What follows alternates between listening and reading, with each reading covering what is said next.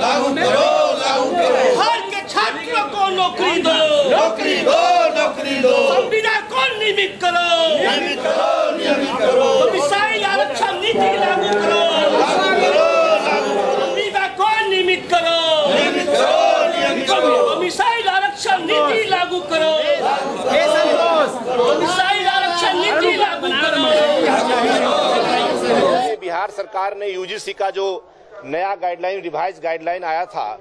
उस रेगुलेशन को लागू नहीं किया उस गाइडलाइन को, जिसके कारण बिहार के लगभग तीस हज़ार पीएचडी धारक को इस अभ्यर्थी बनने का मौका नहीं मिल रहा है, जिसके परिणाम बिहार से बाहर के लोग लगभग जितना पद है यहाँ पर सहायक प्रोफेसर का, लेक्चरर का, उसके 80 परसेंट पदों पर बिहार के बाहर के लोगों को मौका मिलेगा।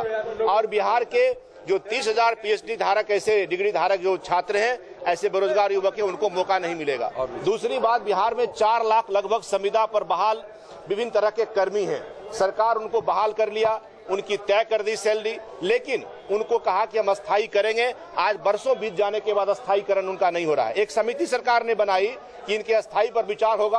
आज तक कोई प्रतिवेदन नहीं आया और उनमें से कई ऐसे हैं, सांख्यिकी स्वयंसेवक हैं और बाकी कई ऐसे कर्मी हैं जिनको थोक भाव में हटाया जा रहा है। तो एक तरफ़ सरकार कह रही है कि वो संविदा पर बहाल कर रही है, उसका अस्थायी करने की बात कर रही है और इसके कारण आज बिहार में जो नौजवान हैं, शिक्षित नौजवान हैं, वो आज पलायन करने के लिए मजबूर हैं। इसलिए आज हमने प्रस्ताव लाया कार्यस्थगन के माध्यम से कि बिहार के अंदर नौकरियों में अवसर के लिए बिहार के लड़के लड़कियों को 80 प्रतिशत डोमिसाइल आरक्षण की नीति के तहत लागू हो।